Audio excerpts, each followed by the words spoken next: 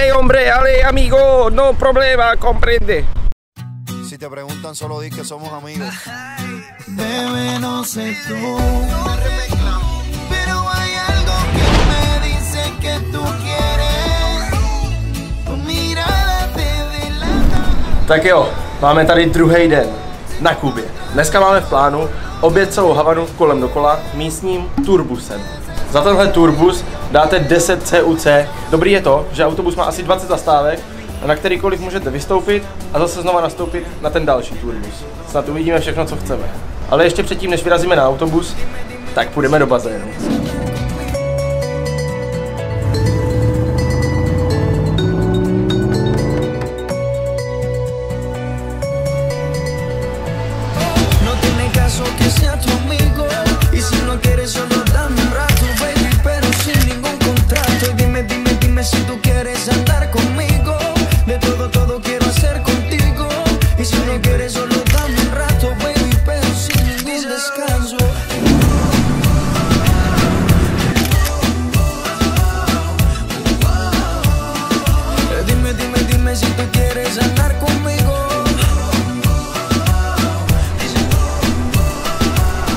Tak jsme se sem dostali, jsme v turbusu. Jo!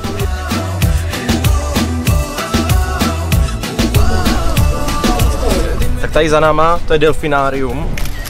Tam se za 10 tuců můžete podívat na show s delfínama. Tam rozhodně půjdeme. Ale teď jedeme dál.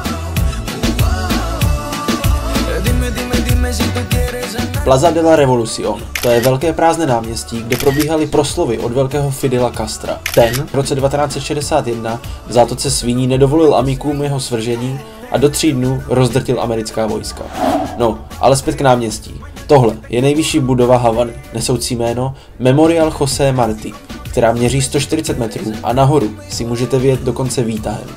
Hned naproti si nejde nevšimnout budovy ministerstva vnitra se siluetou Che Guevary a nápisu Hasta la Victoria Siempre, což znamená až ke konečnému vítězství.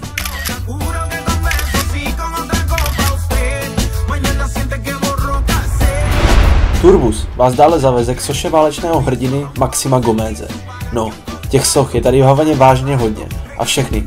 Jsou to váleční hrdinové, generálové a tak dále. Jedeme dál.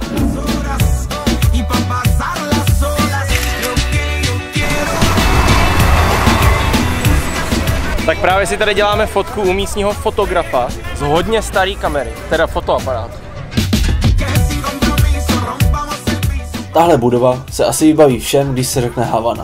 Ano, je to kapitol. Skoro stejný jako ve Spojených státech, ovšem tenhle je delší a taky vyšší.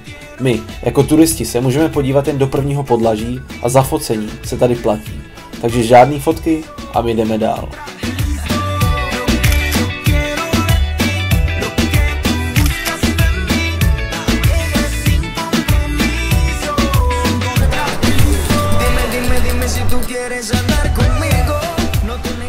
No tak zrovna jsme si dali místní pizzu tady za 2,50 CUC, což je asi tak 60 korun.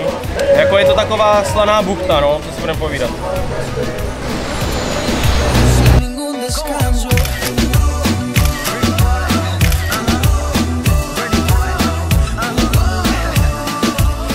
Tak právě tahle promenáda, dlouhá 7 km, která chrání Havanu před velkými vlnami, se jmenuje Malekon.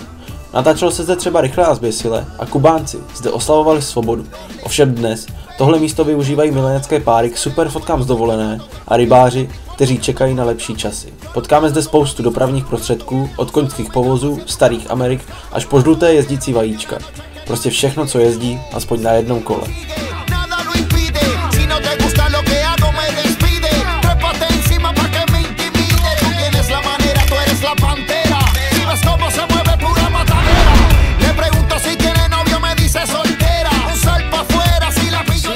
Tak my jsme se vrátili z Havány turbusem a teď nás čeká ten nejtěžší úkol asi, co tady musíme udělat.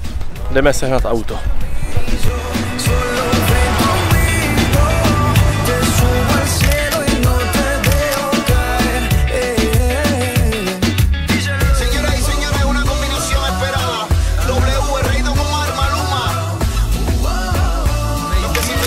Dime, dime si tú quieres andar conmigo. Colombia y Puerto Rico.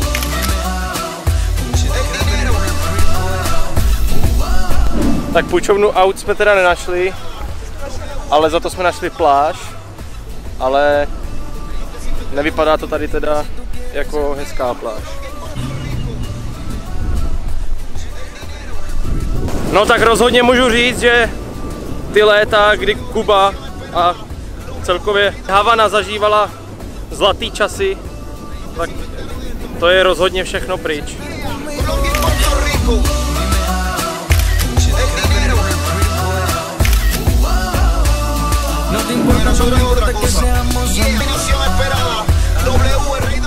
Už půl hodiny vybíráme co na sebe.